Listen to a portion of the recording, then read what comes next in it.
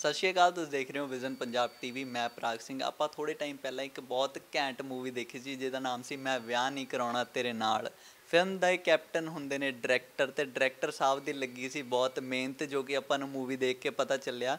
ਹੁਣ ਉਹਨਾਂ ਨਾਲ ਗੱਲਬਾਤ ਕਰਦੇ ਹਾਂ, ਕਿਉਂਕਿ ਮੂਵੀ ਸਿਨੇਮਾ 'ਚ ਤਾਂ ਰਿਲੀਜ਼ ਹੋ ਗਈ ਸੀ। ਹੁਣ OTT ਤੇ Z5 ਤੇ ਵੀ ਰਿਲੀਜ਼ ਹੋਈ ਹੈ ਤੇ ਹੁਣ ਕਿੰਨੀ ਕੁ ਐਕਸਾਈਟਮੈਂਟ ਦੁਬਾਰਾ OTT ਵਾਲੇ ਜਿਹੜੇ ਫੈਨਸ ਆ ਉਹਨਾਂ ਲਈ ਉਹਨਾਂ ਨਾਲ ਗੱਲਬਾਤ ਕਰਕੇ ਪੁੱਛਦੇ ਹਾਂ। ਸਤਿ ਸ਼੍ਰੀ ਅਕਾਲ ਭਾਜੀ ਸਤਿ ਸ਼੍ਰੀ ਅਕਾਲ ਜੀ। Thank you so much thank you so much for coming ਅੱਛਾ ਭਾਜੀ ਬਹੁਤ ਜ਼ਿਆਦਾ ਪਿਆਰ ਮਿਲਿਆ ਮੈਂ ਵਿਆਹ ਨਹੀਂ ਕਰਾਉਣਾ ਤੇਰੇ ਨਾਲ ਨੂੰ ਹੈਨਾ? ਮਤਲਬ ਇੱਕ ਅਲੱਗ ਬਣਾਤਾ ਉਹਨੇ ਇੱਕ ਅਲੱਗ ਦੁਨੀਆ 'ਚ ਲੈ ਗਏ ਰੋਮਾਂਸ ਜਿਹੜੇ ਲਵਰ ਸੀਗਾ ਉਹਨਾਂ ਲਈ ਇੱਕ ਅਲੱਗ ਟ੍ਰੀਟ ਸੀ ਦੇਖਣ ਨੂੰ। ਤੇ ਜਦ ਖੁਦ ਉਹ ਚੀਜ਼ ਦੇਖ ਰਹੇ ਸੀ ਜੋ ਤੁਸੀਂ ਖੁਦ ਬਣਾਏ ਇੱਕ ਮਤਲਬ ਇਹ ਲਾ ਲਓ ਵੀ ਇੱਕ ਪ੍ਰੋਡਕਟ ਆਪਣੇ ਬੱਚੇ ਵਰਗਾ ਤੁਹਾਡੇ ਦਾ ਫਿਲਮ ਆਪਣੇ ਬੱਚੇ ਨੂੰ ਗਰੋ ਕਰਦਾ ਦੇਖ ਰਹੇ ਸੀ ਕਿਹੋ ਜਿਹਾ ਲੱਗਦਾ ਮੈਨੂੰ ਖੁਸ਼ੀ ਬਹੁਤ ਹੋ ਰਹੀ ਸੀ ਜਦੋਂ ਮੈਂ ਐਕਚੁਅਲੀ ਜਦੋਂ ਫਰਸਟ ਸ਼ੋਅ ਮੈਂ ਆਡੀਅנס 'ਚ ਬੈਠ ਕੇ ਦੇਖਿਆ, ਤੇ ਮੇਰੇ ਪਿੱਛੇ ਨਾ ਕਾਫੀ ਲੇਡੀਜ਼ ਬੈਠੀਆਂ ਸੀਗੀਆਂ, ਪੂਰੀ ਰੋ ਤੇ ਮੇਰੇ, ਮੇਰਾ ਧਿਆਨ ਫਿਲਮ 'ਚ ਨਹੀਂ ਸੀਗਾ ਕਨਸਟੈਂਟਲੀ ਕਿ ਕਿਹੜੇ ਡਾਇਲੌਗ ਤੇ ਹੱਸਦੇ ਕਿੱਥੇ ਕੀ। ਸੋ ਫਿਲਮ ਜਦੋਂ ਪੂਰੀ ਖਤਮ ਹੋ ਗਈ ਤੇ ਉਹਨਾਂ ਨੇ ਉਹ ਗਾਣਾ ਵੀ ਦੇਖਿਆ ਐਂਡ ਦੇ ਵਿੱਚ ਗਾਣਾ ਆਉਂਦਾ, ਤੇ ਉਹਨਾਂ ਨੇ ਕਿਹਾ ਕਿ ਬਹੁਤ ਅੱਛੀ ਫਿਲਮ ਸੀ।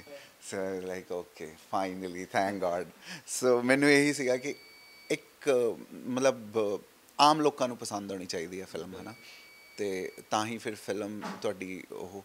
ਸੋ ਬਟ ਅੰਦਰੋਂ ਮੈਂ ਕਾਫੀ ਨਰਵਸ ਸੀ ਕਿਉਂਕਿ ਸਾਡੀ ਰਿਲੀਜ਼ ਹੋਈ ਸੀਗੀ ਫਿਲਮ ਨੈਕਸਟ ਵੀਕ ਇੱਕ ਸਾਊਥ ਦੀ ਬਹੁਤ ਵੱਡੀ ਫਿਲਮ ਰਿਲੀਜ਼ ਹੋ ਰਹੀ ਸੀ। ਉਸ ਤੋਂ ਬਾਅਦ ਚ ਇੱਕ ਹਿੰਦੀ ਫਿਲਮ ਬਹੁਤ ਵੱਡੇ ਸੁਪਰਸਟਾਰ ਦੀ ਰਿਲੀਜ਼ ਹੋ ਰਹੀ ਸੀ। ਉਸ ਤੋਂ ਬਾਅਦ ਫਿਰ ਇੱਕ ਹੋਰ ਹੌਟ ਸਾਊਥ ਦੀ ਫਿਲਮ ਮਤਲਬ ਵੱਡੇ ਲੈਵਲ ਦੀ ਫਿਲਮ ਰਿਲੀਜ਼ ਹੋ ਰਹੀ ਸੀ। ਤਾਂ ਮੈਨੂੰ ਇਹ ਸੀ ਕਿ ਪਤਾ ਨਹੀਂ ਕੀ ਹੋਣ ਵਾਲਾ, ਹਨਾ, ਵੀ ਬਟ ਫਿਰ ਮੈਨੂੰ, ਮੈਂ ਫੋਲੋ ਕਰਨਾ ਛੱਡਤਾ ਸੀਗਾ ਬਾਕਸ ਆਫਿਸ ਫਿਗਰਸ ਔਰ ਇਹ ਸਭ। ਬਟ ਮੈਨੂੰ ਲੋਕ ਸਨੈਪਸ਼ਾਟਸ ਭੇਜ ਦਿੰਦੇ ਸੀ ਹਰ ਵੀਕਐਂਡ ਕੇ ਦੇਖਦੇ ਰਹੇ ਸ਼ੋਜ਼ ਹਾਊਸਫੁਲ ਜਾ ਰਿਹਾ ਐਵਰੀਵੇਅਰ ਇਟਸ ਹਾਊਸਫੁਲ ਮੈਨੂੰ ਲੱਗਿਆ, ਚਲੋ ਸੈਕੰਡ ਵੀਕਐਂਡ ਤਾਂ ਵੈਸੇ ਹੋ ਹੀ ਜਾਂਦਾ। ਫਿਰ ਥਰਡ ਵੀਕਐਂਡ ਵੀ ਫਿਰ fourth weekend we so I was like okay now it is something ਫਿਰ ਦੀ ਤੋਂ ਵੀ ਮੈਨੂੰ ਫਿਰ ਕਾਲ ਆਇਆ ਕਿ ਉਹ ਕਹਿ ਰਹੇ ਕਿ ਫਿਲਮ ਇਜ਼ ਡੂਇੰਗ ਗੁੱਡ ਤਾਂ ਮੈਂ ਕਿਹਾ ਚਲੋ that that's a good thing obviously ਜਦੋਂ ਤੁਸੀਂ ਦੇਖਦੇ ਹੋ ਕਿ ਆ ਚੀਜ਼ ਹੋਈ ਤੇ ਤੁਹਾਨੂੰ ਵਧੀਆ ਲੱਗਦਾ ਬਟ ਹਾਂ ਐਜ਼ ਅ ਮੇਕਰ ਮੈਨੂੰ ਮੈਂ I always want to grow ਮੈਨੂੰ ਐ ਲੱਗਦਾ ਜਦੋਂ ਮੈਂ ਸੀਨ ਦੇਖਦਾ ਅੱਛਾ ਮੈਨੂੰ ਐ ਕਰ ਸਕਦਾ ਸੀ ਇਸ ਚੀਜ਼ ਨੂੰ ਮੈਂ ਐ ਕਰ ਸਕਦਾ ਸੀ ਉਹ ਚੀਜ਼ ਤਾਂ ਕਦੇ ਨਹੀਂ ਜਾਂਦੀ ਆਈ ਥਿੰਕ ਮਤਲਬ ਆਪ ਤਾਂ ਆਪਾਂ ਕਦੀ ਵੀ ਸੈਟੀਸਫਾਈ ਨਹੀਂ ਹੁੰਦੇ ਆਪਣੇ ਇੰਟਰਵਿਊ ਹੁਣ ਜਿਵੇਂ ਮੈਂ ਇੰਟਰਵਿਊ ਕਰ ਰਿਹਾ ਇੰਟਰਵਿਊ ਜਾਣ ਤੋਂ ਬਾਅਦ ਜੇ ਦੇਖੋ ਮੈਂ ਓਹੋ ਯਾਰ, ਆਹ ਸਵਾਲ ਰਹਿ ਗਿਆ। ਆਪਾਂ ਸੈਟੀਸਫਾਈ ਕਦੀ ਨਹੀਂ ਹੋ ਪਾਉਂਦੇ ਉਹਨਾਂ ਚੀਜ਼ਾਂ ਤੋਂ। ਅੱਛਾ, ਭਾਈ ਇੱਕ ਹੁੰਦਾ ਜੇ ਆਪਾਂ ਫਿਲਮ ਤਾਂ ਚਲੋ ਬਹੁਤ ਵਧੀਆ ਬਣ ਗਈ ਹੈ ਇੱਕ ਜਗਦੀਪ ਸਿੱਧੂ ਵੀਰ ਨੇ ਇੱਕ ਲਿਖਿਆ ਸੀਗਾ ਕਿ ਜੇ ਫਿਲਮ ਪੈਸਾ ਨਾ ਕਮਾਵੇ ਤਾਂ ਤੁਸੀਂ ਉਹਨੂੰ ਇਹ ਨਹੀਂ ਕਹਿ ਸਕਦੇ ਵੀ ਬਹੁਤ ਵਧੀਆ ਫਿਲਮ ਬਣੀ ਹੈ ਤੁਸੀਂ ਵੀ ਉਦਾਂ ਹੀ ਸੋਚਦੇ ਹੋ? ਹਾਂ ਕਿ ਆਫ ਕੋਰਸ ਕਿ ਦੇਖੋ ਹਰ ਇੱਕ ਬੰਦਾ ਉਸ ਫਿਲਮ ਦੇ ਵਿੱਚ ਇਨਵੋਲਡ ਹੁੰਦਾ। ਕਿਸੇ ਮੋਟਿਵ ਕਰਕੇ। ਤੇ ਪ੍ਰੋਡਿਊਸਰ ਨੇ ਜਿਹਨੇ ਪੈਸਾ ਲਗਾਇਆ, ਉਹਦਾ ਪੈਸਾ ਉਹਨੂੰ ਵਾਪਸ ਆਉਣਾ ਚਾਹੀਦਾ। ਉਹ, ਉਹਨੂੰ ਇਨਫੈਕਟ ਵਾਪਸ ਨਹੀਂ ਆਉਣਾ ਚਾਹੀਦਾ, ਉਹਨੂੰ ਉਸ ਚੀਜ਼ ਤੋਂ ਪ੍ਰੋਫਿਟ ਹੋਣਾ ਚਾਹੀਦਾ, ਕਿਉਂਕਿ ਉਹਨੇ ਉਹਨੇ ਕੁਝ ਸੋਚ ਕੇ ਲਾਇਆ, ਹਨਾ। ਤੇ ਉਹ ਉਹ ਚੀਜ਼ ਹੈ ਹੀ ਹੈ ਕਿ ਮਤਲਬ ਅਦਰਵਾਈਜ਼ ਤੁਹਾਡੀ ਫਿਲਮ ਨੂੰ ਤੁਸੀਂ ਨਹੀਂ ਵਧੀਆ ਕਹਿ ਸਕਦੇ। ਤੇ ਬਟ ਮੈਂ ਇਹ ਚੀਜ਼ ਵੀ ਮੰਨਦਾ ਕਿ ਹਾਂ देयर आर ਹਿੰਦੀ ਫਿਲਮਸ ਜਿਹੜੀਆਂ ਕਿ ਨਹੀਂ ਉਹ ਜਿਵੇਂ ਫੋਰ ਐਗਜ਼ਾਮਪਲ ਹਿੰਦੀ ਮ- ਚਲੋ ਨਾਮ ਨਹੀਂ ਲੈਂਦਾ ਕਿ ਕਈ ਫਿਲਮਾਂ ਨੇ ਜੋ ਉਸ ਟਾਈਮ ਬਾਕਸ ਆਫਿਸ ਤੇ ਨਹੀਂ ਚੱਲੀਆਂ ਬਟ ਉਹ ਅੱਜ ਦੀ ਟਾਈਮ ਤੇ ਕਲਟ ਮੰਨੀਆਂ ਜਾਂਦੀਆਂ ਹਨਾ ਤੇ ਉਹ ਵੀ ਫਿਲਮਾਂ ਹੈਗੀਆਂ ਇਹੋ ਜਿਹੀਆਂ ਵੀ ਤੇ ਬਟ ਇੱਕ ਮੀਡੀਅਮ ਹੈ ਹੁਣ ਜਿਹੜਾ ਹੈ ਬਾਕਸ ਆਫਿਸ ਤੇ ਫਿਲਮਾਂ ਦੇ ਮਨੀ ਮੇਕਿੰਗ ਹੈ ਨਾ ਦੂਸਰਾ ਹੁਣ OTT ਵੀ ਆ ਗਿਆ। ਤੇ OTT ਦੇ ਉੱਤੇ ਆਪਾਂ ਨੂੰ ਹਿੱਟ ਫਲॉप ਉੱਥੇ ਪ੍ਰੋਡਿਊਸਰ ਦੇ ਪੈਸੇ ਪੂਰੇ ਹੋ ਜਾਂਦੇ ਆ ਪਹਿਲਾਂ ਹੀ, ਹਨਾ? ਤੇ ਹਿੱਟ ਫਲॉप ਦਾ ਆਪਾਂ ਨੂੰ ਵੈਸੇ ਹੀ ਪਤਾ ਨਹੀਂ ਲੱਗਦਾ ਬਿਕੋਜ਼ ਲੋਕਾਂ ਨੂੰ ਪਸੰਦ ਆਈ, ਨਹੀਂ ਪਸੰਦ ਆਈ। ਉਹ ਰਿਵਿਊਜ਼ ਥੋੜੇ ਜਿਹਾ ਆ ਕੇ because there is no number ਕਿ ਅੱਛਾ, ਇਹਨੇ ਇੰਨੇ ਬਾਕਸ ਆਫਿਸ ਤੇ ਉਹ ਕੀਤਾ। ਸੋ ਇੱਕ ਹੁਣ ਉਹ ਚੀਜ਼ ਵੀ ਆ ਗਈ ਬਟ ਇਹ ਮੈਨੂੰ ਹੁਣ ਰਿਅਲਾਈਜ਼ ਹੁੰਦਾ ਕਿ ਵਿਦ OTT ਫਿਲਮਾਂ ਹੁਣ ਸਾਰੀ ਉਮਰ ਲਈ ਰਹਿੰਦੀਆਂ ਨੇ। ਹਨਾ? ਇਹ ਬਾਕਸ ਆਫਿਸ ਮਤਲਬ ਹਫ਼ਤੇ ਦਾ ਜਾਂ ਦੋ ਹਫ਼ਤੇ ਦਾ ਖੇਡ ਤਾਂ ਹੈ ਨਹੀਂਗਾ ਸੋ ਉਹ ਜਿੰਨੀ ਟਾਈਮ ਵੀ ਉਹ ਫਿਲਮ ਰਹੇਗੀ ਤੇ ਜੇ ਆਈਪੀਆਰ ਤੁਹਾਡੇ ਪ੍ਰੋਡਿਊਸਰ ਕੋਲ ਹੈ ਤਾਂ ਉਹ ਹਮ- ਉਹ ਪੈਸਾ ਕਮਾਉਂਦਾ ਹੀ ਰਹੂਗਾ ਉਹਦੇ ਤੋਂ। ਤੇ ਜੇ ਫਿਲਮ ਵਧੀਆ ਹੈ, ਜੇ ਵਧੀਆ ਰਿਵਿਊਜ਼ ਨੇ, ਜੇ ਉਹਨੇ ਬਾਕਸ ਆਫਿਸ ਤੋਂ ਨਹੀਂ ਕਮਾਇਆ ਤਾਂ ਉਹ ਤੁਹਾਡੇ ਪ੍ਰੋਡਿਊਸਰ ਨੂੰ ਪੈਸਾ ਦਿੰਦੀ ਰਹੇਗੀ ਫਿਲਮ ਅੱਛਾ, ਭਾਜੀ ਜੇ ਆਪਾਂ ਗੱਲ ਕਰੀਏ OTT ਦਾ ਟ੍ਰੈਂਡ ਲੋਕਡਾਊਨ ਕਾਫੀ ਲੋਕਾਂ ਲਈ ਨੁਕਸਾਨਦਾਇਕ ਸੀਗਾ, ਪਰ ਮੈਨੂੰ ਲੱਗਦਾ ਜੋ ਫਿਲਮ ਇੰਡਸਟਰੀ ਲਈ ਉਹਦਾ ਇਹ ਹੋ ਗਿਆ ਕਿ ਲੋਕਾਂ ਦਾ ਵਿਜ਼ਨ ਵੱਧ ਗਿਆ, ਫਿਲਮਾਂ ਨੂੰ ਲੈ ਕੇ। ਪਹਿਲਾਂ ਕੁਝ ਹੋਰ ਸੀਗਾ ਵਿਜ਼ਨ ਲੋਕਡਾਊਨ ਤੋਂ ਪਹਿਲਾਂ, ਪਰ ਹੁਣ ਜੇ ਆਪਾਂ ਗੱਲ ਕਰੀਏ ਪੰਜਾਬ ਦੇ ਇੱਕ ਪਿੰਡ ਦੇ ਵਿੱਚ ਬੈਠ ਕੇ ਵੀ ਉਹ ਇੱਕ ਸਰਟਨ OTT ਦੇਖ ਰਿਹਾ ਹੁੰਦਾ ਕਿ ਹਾਂ, ਉਹ ਫ੍ਰੈਂਚ ਦੀ ਫਿਲਮਾਂ ਦੇਖ ਰਹੇ ਹੁੰਦੇ ਆ, ਤਾਂ ਤੁਹਾਨੂੰ ਲੱਗਦਾ ਕਿ ਫਾਇਦਾ ਹੋਇਆ ਬਹੁਤ ਜ਼ਿਆਦਾ? ਹਾਂ, ਇਹ ਜੈਨੂਇਨਲੀ ਪੀਪਲ ਜਿਹੜੇ ਲੋਕ ਹਮੇਸ਼ਾ ਕੰਟੈਂਟ ਡਰਿਵਨ ਸੀਗੇ ਇੰਡਸਟਰੀ ਦੇ ਵਿੱਚ, ਹਨਾ? ਉਹਨਾਂ ਨੂੰ ਕਿਤੇ ਨਾ ਕਿਤੇ ਲੱਗਦਾ ਸੀ ਕਿ ਲੋਕ ਕੰਟੈਂਟ ਦੀ ਕਦਰ ਨਹੀਂ ਕਰਦੇ ਬਟ ਆਈ ਥਿੰਕ ਉਹ ਵੀ ਹੋ ਗਿਆ ਕਿ ਲੋਕਾਂ ਨੂੰ ਮਤਲਬ ਸਮਝ ਆਉਣ ਲੱਗ ਗਿਆ, ਹੁਣ ਕੰਟੈਂਟ ਵੀ ਸਮਝ ਆਉਂਦਾ। ਤੇ ਹੁਣ ਤੁਸੀਂ ਮੀਡੀਓਕਰ ਚੀਜ਼ਾਂ ਨਹੀਂ ਲਿਆ ਸਕਦੇ। ਮੀਡੀਓਕਰ ਚੀਜ਼ਾਂ ਮਤਲਬ ਲੋਕ ਆਉਣਗੇ ਦੇਖਣਗੇ, ਤੁਹਾਡਾ ਰਸ਼ ਪਊਗਾ ਵੀਕਐਂਡ ਦਾ, ਪਰ ਫਿਰ ਬੈਠ ਜਾਏਗਾ। ਤੇ ਉਹ ਚੀਜ਼ਾਂ ਹੁੰਦੀਆਂ। ਤੇ ਬਟ ਲੋਕਾਂ ਦੀ ਟੇਸਟ ਥੋੜਾ ਇੰਪਰੂਵ ਹੋਇਆ ਹੈ ਡੈਫੀਨਿਟਲੀ ਇਹ ਮੈਨੂੰ ਵੀ ਲੱਗਦਾ। ਕਿਉਂਕਿ ਮੈਂ ਜਦੋਂ ਲੋਕਡਾਊਨ 'ਚ ਮੈਂ ਪੂਰਾ ਲੋਕਡਾਊਨ ਪਿੰਡ ਸੀਗਾ ਆਪਦੇ, ਤੇ ਮੇਰੇ ਕਜ਼ਨਸ ਵਗੈਰਾ ਉਹ ਸਾਰੇ ਮਤਲਬ ਦੇ ਵਰ ਵਾਚਿੰਗ ਇੰਟਰਨੈਸ਼ਨਲ ਸ਼ੋਜ਼ ਹਿੰਦੀ ਦੇ ਵਿੱਚ, ਹਨਾ। ਤੇ ਮੈਨੂੰ ਵਧੀਆ ਵੀ ਲੱਗਿਆ ਹੈ ਉਹ ਚੀਜ਼, ਤੇ ਹੁਣ ਉਹਨਾਂ ਨੂੰ ਸਮਝ ਵੀ ਆਉਂਦੀ ਹੈ ਕਿ ਅੱਛਾ, ਆਹਾ, ਫਿਰ ਉਹ ਆਪ ਕਹਿੰਦੇ ਆ, ਯਾਰ ਜ਼ਿਆਦਾ ਖਿੱਚੀ ਹੋਈ ਸੀ। ਮਤਲਬ ਹੁਣ ਉਹਨਾਂ ਨੂੰ ਸਮਝ ਆਉਣ ਲੱਗ ਗਈ ਉਹ ਚੀਜ਼ਾਂ ਦੀ, ਹਨਾ। ਤੇ ਬਟ ਇਹ ਵੀ ਹੈ ਇੱਕ ਕਿ ਮੈਂ ਉਦੋਂ ਬਾਅਦ ਥੀਏਟਰ ਦੇ ਵਿੱਚ ਨਾ ਜਦੋਂ ਵੀ ਦੇਖਿਆ ਲਾਕਡਾਊਨ ਤੋਂ ਬਾਅਦ ਜਿੰਨੀਆਂ ਵੀ ਫਿਲਮਾਂ ਦੇਖੀਆਂ ਮੈਂ ਦੇਖਿਆ ਕਿ ਲੋਕ ਹੁਣ ਉਨਾ ਇੰਜੋਏ ਨਹੀਂ ਕਰਦੇ। ਬਿਲਕੁਲ ਨਹੀਂ ਕਰ ਪਾ ਰਹੇ। ਕਿਉਂਕਿ ਹਾਂ ਕਿਉਂਕਿ ਉਹਨਾਂ ਨੂੰ ਪਰਸਨਲ ਵਿਊਇੰਗ ਦੀ ਇੰਨੀ ਆਦਤ ਪੈ ਗਈ ਨਾ ਕਿ ਅੰਦਰ ਹੀ ਅੰਦਰ ਹੱਸਣ ਦੀ ਅੰਦਰ ਹੀ ਅੰਦਰ। ਤੇ ਹੁਣ ਮੈਂ ਕਈ ਦੇਖਿਆ ਸੀ ਮਤਲਬ ਮੈਂ ਬਹੁਤ ਹੀ ਸੀਟੀਆਂ ਵਾਲੀ ਫਿਲਮ ਦੇਖੀ ਸੀ ਥੀਏਟਰਸ ਦੇ ਵਿੱਚ। ਤੇ ਲੋਕ ਮਾਰ ਹੀ ਨਹੀਂ ਰਹੇ ਸੀਟੀਆਂ। ਤੇ ਮੈਨੂੰ ਇਹ ਕਿ ਆਹ ਕੀ ਗੱਲ ਹੈ? ਕਿਉਂਕਿ ਉਹ ਤਾਂ ਉਹ ਹੀਰੋ ਹੀ ਇਸ ਕਰਕੇ ਜਾਣਿਆ ਜਾਂਦਾ ਕਿ ਉਹਦੀਆਂ ਫਿਲਮਾਂ ਦੇ ਤਾੜੀਆਂ ਸੀਟੀਆਂ ਵੱਜਦੀਆਂ। ਤੇ ਉਹ ਕੋਈ ਲੋਕ ਰਿਐਕਟ ਹੀ ਨਹੀਂ ਕਰ ਰਹੇ ਸੀ। ਔਰ ਮੈਂ ਮਤਲਬ ਬੋ- ਬੰਬੇ ਦੇ ਕਾਫੀ ਸਿੰਗਲ ਸਕਰੀਨ ਮਤਲਬ ਉਹ ਜਾਣਿਆ ਜਾਂਦਾ ਕਿ ਉੱਥੇ ਲੋਕ ਆ ਕੇ, ਹਾਂ ਇੰਜੋਏ ਕਰਨਗੇ। ਤੇ ਮੈਨੂੰ ਲੱਗਿਆ ਸ਼ਾਇਦ ਹੁਣ ਲੋਕਾਂ ਨੂੰ ਉਹ ਆਦਤ ਪੈ ਗਈ ਹੈ ਪਰਸਨਲ ਵੀ ਵਿਚ ਇਜ਼ ਓਕੇ ਕਿ ਲੋਕ ਆਉਂਦੇ ਆ, ਉਹ ਆਪਦਾ ਪਰਸਨਲੀ ਇੰਜੋਏ ਕਰਦੇ ਹਨ, ਉਹ ਡਿਸਟਰਬ ਨਹੀਂ ਕਰਦੇ ਦੂਜਿਆਂ ਨੂੰ। ਤੇ ਬਟ ਚੇਂਜ ਤਾਂ ਹੋਇਆ ਹੈ ਲਾਕਡਾਊਨ ਕਰਕੇ। ਅੱਛਾ ਅ, ਆਪਣੀ ਪੰਜਾਬੀ ਫਿਲਮਾਂ ਜ਼ਿਆਦਾਤਰ ਪਹਿਲਾਂ ਸਿਨੇਮਾ ਤੇ ਰਿਲੀਜ਼ ਹੁੰਦੀਆਂ ਫਿਰ OTT ਤੇ ਰਿਲੀਜ਼ ਹੁੰਦੀਆਂ ਜਦ ਕਿ ਜੇ ਆਪਾਂ ਦੇਖੀਏ ਬਾਲੀਵੁੱਡ ਦੀ ਹੁਣ ਫਿਲਮਾਂ ਉਹ ਡਾਇਰੈਕਟ OTT ਨਾਲ ਹੀ ਡੀਲ ਕਰਨਾ ਸ਼ੁਰੂ ਕਰਤਾ ਉਹਨਾਂ ਨੇ। ਤੁਹਾਨੂੰ ਕੀ ਲੱਗਦਾ ਕਿ ਜੇ ਆਪਾਂ ਐਦਾਂ ਕਰਾਂਗੇ ਕਿਤੇ ਨਾ ਕਿਤੇ ਸਿਨੇਮਾ ਜਿਹੜੇ ਲੋਕ ਸਿਨੇਮਾ 'ਚ ਦੇਖਣਾ ਪਸੰਦ ਕਰਦੇ ਆ ਉਹ ਕਿਤੇ ਨਾ ਕਿਤੇ ਪਿੱਛੇ ਰਹਿ ਜਾਣਗੇ ਵੀ ਉਹਨਾਂ ਤੱਕ ਉਹ ਕੰਟੈਂਟ ਸਿਨੇਮਾ 'ਚ ਨਹੀਂ ਪਹੁੰਚੂਗਾ। ਤਾਂ ਆਪਾਂ ਜੋ ਲੋਕ ਆਪਾਂ ਕਰ ਰਹੇ ਪੰਜਾਬੀ ਵਾਲੇ ਕਿ ਮਹੀਨਾ ਉਹ ਤੇ ਦਿਖਾਤੀ ਉਹ ਤੋਂ ਬਾਅਦ OTT ਤੇ ਇੰਜੋਏ ਕਰੋ ਉਹ ਜ਼ਿਆਦਾ ਸਹੀ ਹੈ ਹਾਂ ਆਫ ਕੋਰਸ ਮੈਨੂੰ ਲੱਗਦਾ ਕੋਈ ਵੀ ਮੇਕਰ ਹੁੰਦਾ ਜਿਹੜਾ ਫਿਲਮ ਮੇਕਰ ਹੁੰਦਾ, ਉਹਦਾ ਸੁਪਨਾ ਹੀ ਹੁੰਦਾ ਕਿ ਉਹ ਵੱਡੀ ਸਕਰੀਨ ਤੇ ਦੇਖੇ, ਹਨਾ, ਆਪਦੀ ਫਿਲਮ ਨੂੰ। ਤੇ ਬਟ ਕੁਝ ਕੰਟੈਂਟ ਹੁੰਦਾ ਜਿਹੜਾ ਜਿਹਦੇ, ਜਿਵੇਂ ਮੇਰੇ ਕੋਲ ਵੀ ਕਈ ਸਟੋਰੀਜ਼ ਨੇ, ਜੋ ਮੈਨੂੰ ਲੱਗਦਾ ਕਿ ਹਾਂ, ਇਹ ਇੱਕ ਨੋ, ਮਤਲਬ ਜੋ ਤੁਸੀਂ ਵੈਬ ਸੀਰੀਜ਼ ਕਹਿੰਦੇ ਹੋ ਨਾ ਦੇ ਆਰ ਲਾਈਕ ਨੋਵਲਸ ਕਿ ਮਤਲਬ ਉਹ ਸਕ੍ਰਿਪਟ ਫਿਲਮ ਸਕ੍ਰਿਪਟ ਨਹੀਂ ਹੈਗੀ ਕਿ ਅੱਛਾ ਇੰਨੇ ਕੁ, ਤਿੰਨ ਕੁ ਘੰਟੇ ਚ ਆਪਾਂ ਕਹਾਣੀ ਕਹਿਤੀ, ਉਹਦੇ ਚ ਬਹੁਤ ਸਾਰੇ ਟਰੈਕਸ ਚੱਲਣਗੇ, ਬਹੁਤ ਸਾਰੇ ਕੈਰੈਕਟਰਸ ਆਉਣਗੇ ਔਰ ਹਰ ਇੱਕ ਕੈਰੈਕਟਰ ਦੀ ਆਪਦੀ ਸਟੋਰੀ ਹੋਏਗੀ। ਉਹਦੇ ਲਈ ਤੁਸੀਂ ਠੀਕ ਹੈ, ਉਹ ਮੀਡੀਅਮ ਠੀਕ ਹੈ। ਬਟ ਅਦਰ ਜੇ ਤੁਸੀਂ ਫਿਲਮ ਬਣਾਈ ਹੈ, ਤੁਸੀਂ ਡੈਫੀਨਿਟਲੀ ਉਹਨੂੰ ਸਕਰੀਨ ਤੇ, ਉਹ ਵੱਡੇ ਪਰਦੇ ਤੇ ਦੇਖਣਾ ਹੀ ਚਾਹੋਗੇ ਬਿਕਾਜ਼ ਐਜ਼ ਆਈ ਸੈਡ ਮੈਂ ਤਾਂ ਮਤਲਬ ਜੈਨੂਇਨਲੀ ਮੈਂ ਹਰ ਇੱਕ ਫਰੇਮ ਤਾਂ ਹੀ ਮੈਂ ਹਰ ਇੱਕ ਫਰੇਮ ਦੇ ਉੱਤੇ ਇੰਨਾ ਕੰਮ ਕਰਦਾ ਬਿਕਾਜ਼ ਆਈ ਆਈ ਨੋ ਕਿ ਇਵੈਂਚੁਅਲੀ ਵੱਡੇ ਪਰਦੇ ਤੇ ਦਿਖੂਗਾ। ਉੱਥੇ ਗਲਤੀਆਂ ਵੀ ਜ਼ਿਆਦਾ ਦਿਖਣਗੀਆਂ ਜੇ ਕੁਝ ਹੋਇਆ। ਤੇ but it should look like a painting you know ਕਿ ਮਤਲਬ ਕਿਉਂਕਿ ਉਹ ਸਾਰੀ ਉਮਰ ਲਈ ਰਹਿਣਾ।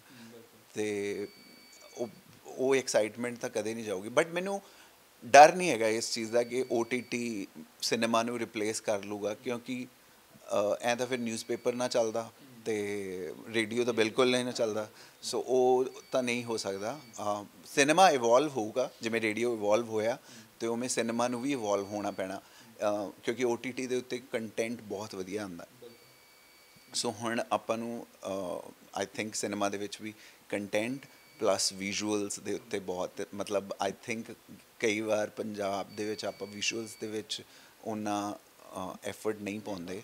ਤੇ ਉਹ ਵਿਜ਼ੂਅਲਸ ਦੇ ਵਿੱਚ ਹੁਣ ਆਪਾਂ ਨੂੰ ਐਫਰਟ ਪਾਉਣਾ ਪਊਗਾ ਕਿਉਂਕਿ ਕੋਈ ਬੰਦਾ ਪੈਸੇ ਖਰਚ ਕੇ ਆਇਆ ਤੇ ਜੇ ਉਹ ਆਰ ਦੇਖ ਰਿਹਾ ਤੇ ਆਰ ਦੇ ਜੇ ਇੰਨੇ ਘੈਂਟ ਵਿਜ਼ੂਅਲਸ ਨੇ ਤੇ ਉਹਦੇ ਨਾਲ ਜੇ ਆਪਾਂ ਕੰਪੀਟ ਕਰਨਾ ਤੇ we have to be at par ਮਤਲਬ ਕਿਤੇ ਤਾਂ ਆਪਣਾ ਹੋਣਾ ਚਾਹੀਦਾ ਉਹ।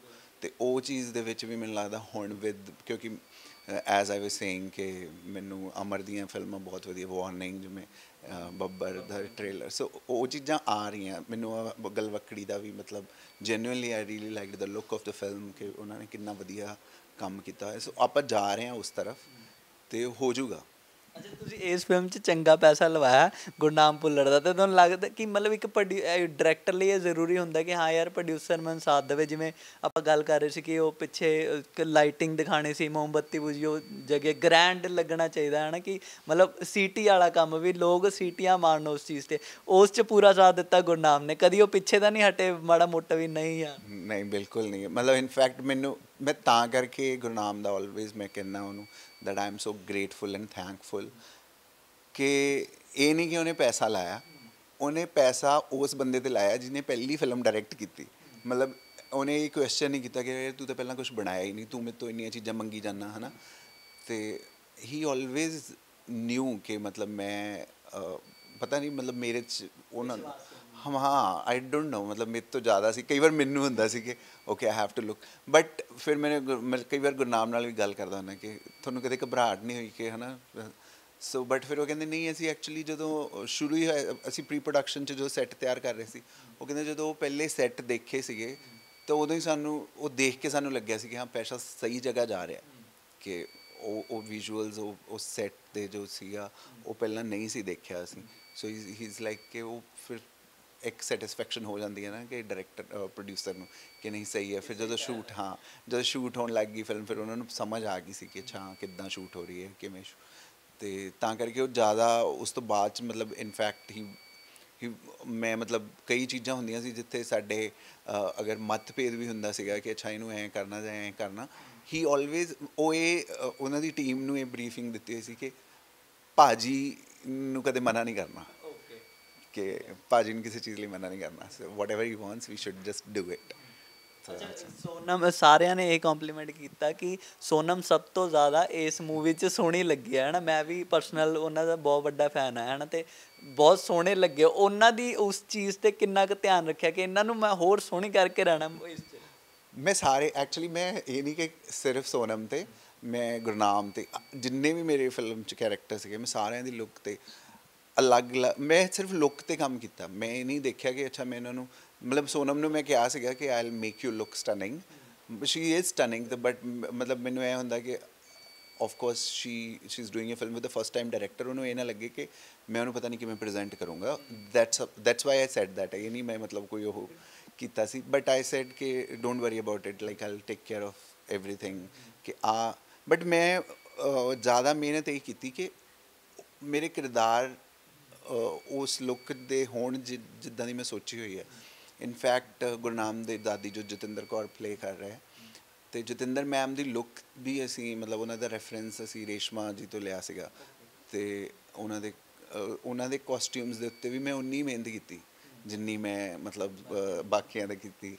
ਤੇ ਸੇਮ ਹੀ ਰੂਪੀ ਮੈਮ ਰੂਪੀ ਮੈਮ ਦਾ ਕੈਰੈਕਟਰ ਸੀਗਾ ਕਿ ਉਹ she is a self made woman ਜਿਹਨੇ ਸਿੰਗਲ ਮਦਰ ਉੱਥੇ ਰਹੇ ਨੇ। ਤੇ ਫਿਰ ਅਸੀਂ ਸਾਰੇ ਐਲੀਮੈਂਟਸ ਉਹਨਾਂ ਦੇ ਕੱਪੜਿਆਂ ਦੇ, ਉਹਨਾਂ ਦੇ ਕਾਸਟਿਊਮਸ ਦੇ ਉਸ ਹਿਸਾਬ ਨਾਲ ਚੂਜ਼ ਕੀਤੇ ਸੀਗੇ ਕਿ ਮੈਮ ਨੂੰ ਜੀਨਸ ਦਵਾਂਗੇ ਮੈਮ ਨੂੰ ਇਹੋ ਜਿਹੀਆਂ ਟੀ-ਸ਼ਰਟਸ ਦਵਾਂਗੇ। She is always not bothered ਕਿ ਮੈਂ ਕਿੱਦਾਂ ਦੀ ਲੱਗਦੀ ਹਾਂ। ਤੇ ਗੁਰਨਾਮ ਦਾ ਵੀ ਮੈਂ ਹਮੇਸ਼ਾ ਮਤਲਬ ਕਿਉਂਕਿ ਉਹਨੇ ਐਨ ਆਰ ਆਈ ਲੁੱਕ ਸੀਗੀ। ਤੇ ਮੈਂ ਚਾਹੁੰਦਾ, ਮੈਂ ਉਹ ਐਨ ਆਰ ਆਈ ਚਾਹੁੰਦਾ ਸੀ ਜੋ ਮੇਰੇ ਘਰੇ ਆਉਂਦੇ ਆ। ਉਹ ਉਹ ਨਹੀਂ ਚਾਹੁੰਦਾ ਸੀ, ਜੋ ਪਤਾ ਨਹੀਂ, ਉਹ ਫਿਲਮਾਂ 'ਚ ਹੀ ਹੁੰਦੇ ਆ, ਮੈਂ ਰੀਅਲ 'ਚ ਨਹੀਂ ਦੇਖੇ ਕਦੇ।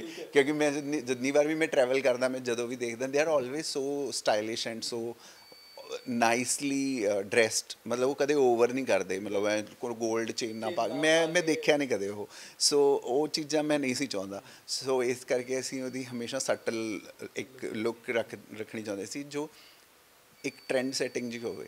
ਤੇ ਪਲੱਸ ਉਹ ਫਿਲਮ ਜੇ ਤੁਸੀਂ ਦੇਖੋਗੇ ਤਾਂ ਫਿਲਮ ਦੇ ਵਿੱਚ ਉਹ ਇਵੋਲਵ ਕਰਦਾ ਕਿ ਜਦੋਂ ਫਿਲਮ 'ਚ ਉਹਦੀ ਐਂਟਰੀ ਹੁੰਦੀ ਆ ਹੀ ਇਜ਼ ਸੋ ਵੈਸਟਰਨ ਫਿਰ ਉਹ ਹੌਲੀ ਹੌਲੀ ਜਦੋਂ ਇੰਡੀਆ ਆਉਂਦਾ ਤਾਂ ਉਹ ਉਹਨਾਂ 'ਚ ਘੁਲ ਮਿਲਦਾ, ਘੁਲਦਾ ਰਹਿੰਦਾ ਘੁਲਦਾ ਰਹਿੰਦਾ ਦੈਨ ਉਹਦੇ ਜੀਨ ਜੀਨਸ ਰਹਿੰਦੀ ਆ ਤੇ ਉੱਪਰ ਕੁੜਤਾ ਆ ਜਾਂਦਾ, ਫਿਰ ਹੌਲੀ ਹੌਲੀ ਉਹ ਕੁੜਤੇ ਪਜਾਮੇ ਤੱਕ ਚਲਾ ਜਾਂਦਾ। ਤੇ ਉਹ ਉਹ ਮੇਰਾ ਵੇ ਸੀਗਾ ਦੱਸਣ ਦਾ ਦੈਟ ਹਾਊ ਹੀ ਇਜ਼ ਹਾਂ, ਪੰਜਾਬ ਦੇ ਵਿੱਚ ਉਹ ਕੈਰੈਕਟਰ ਥੋੜਾ ਥੋੜਾ ਘੁਲਦਾ ਮਿਲਦਾ ਜਾਂਦਾ, ਹਨਾ।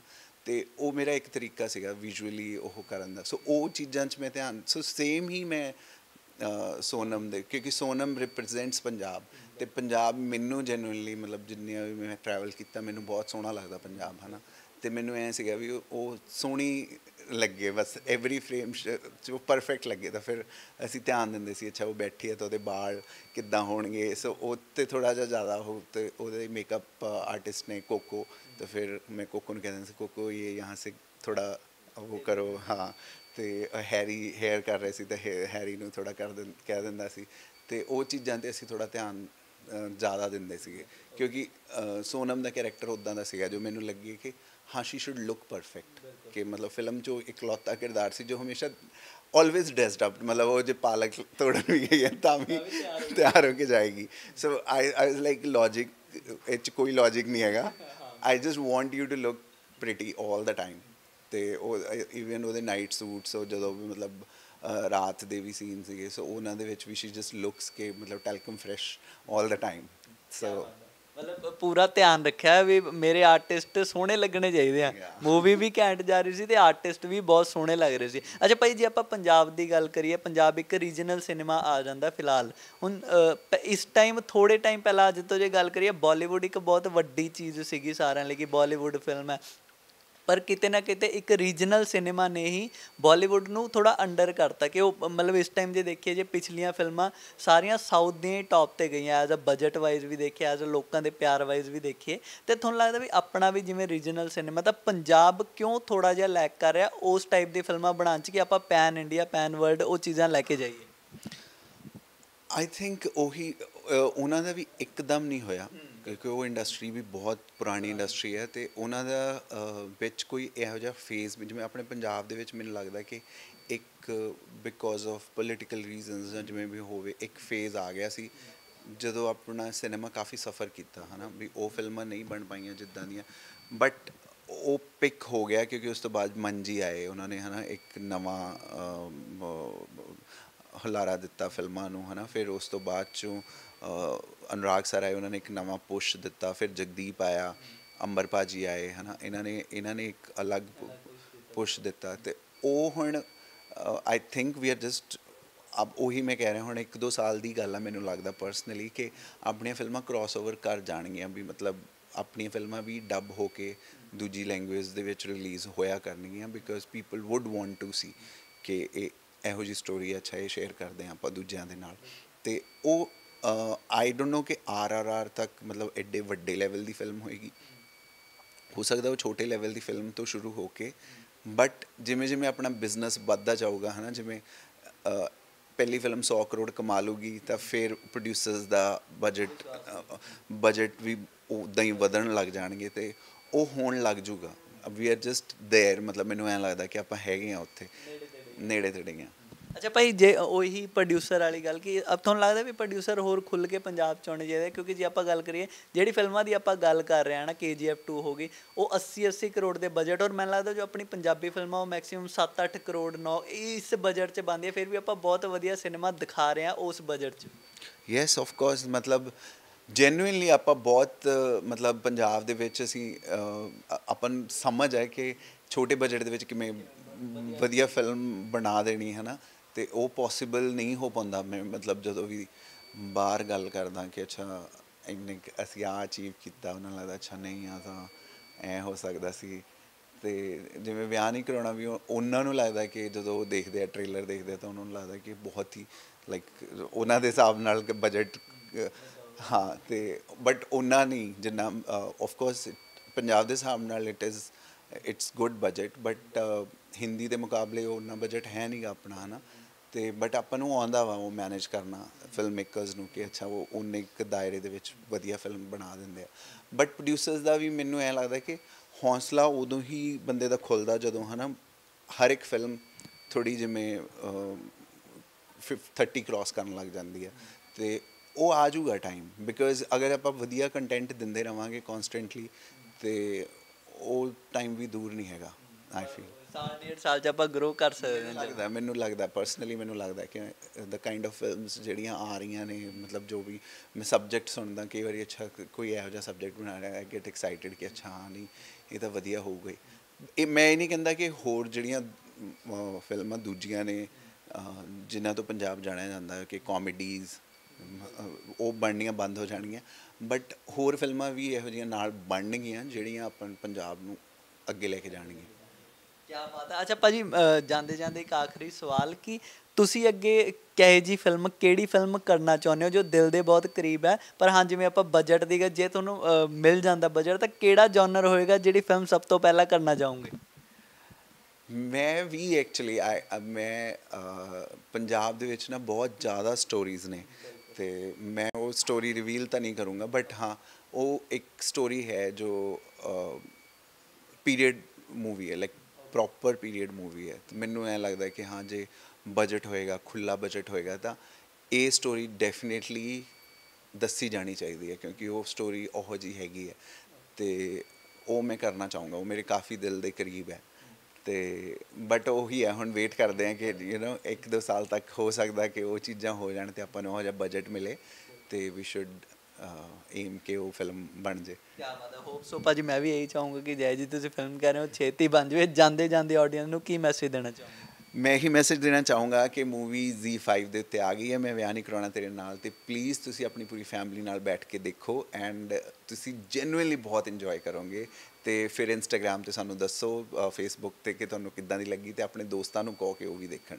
Thank you so much hello ਜੀ, ਇਹ ਸੀਗੇ ਮੇਰੇ ਨਾਲ ਰੁਪਿੰਦਰ ਇੰਦਰ ਜੀ ਤੇ ਮੈਨੂੰ ਬਹੁਤ ਮਜ਼ਾ ਆਇਆ ਸਿਨੇਮਾ ਬਾਰੇ ਗੱਲ ਕਰਕੇ। ਤੁਹਾਨੂੰ ਇੰਟਰਵਿਊ ਦੇਖ ਕੇ ਕਿਵੇਂ ਦਾ ਲੱਗਿਆ ਕਮੈਂਟ ਕਰਕੇ ਜ਼ਰੂਰ ਦੱਸਿਓ ਤੇ ਇਸੇ ਤਰ੍ਹਾਂ ਦੀ ਨਵੀਂ ਵੀਡੀਓਜ਼ ਦੇ ਲਈ ਦੇਖਦੇ ਰਹੋ ਵਿਜ਼ਨ ਪੰਜਾਬ ਟੀਵੀ ਹਰ ਕਦਮ ਤੁਹਾਡੇ ਨਾਲ।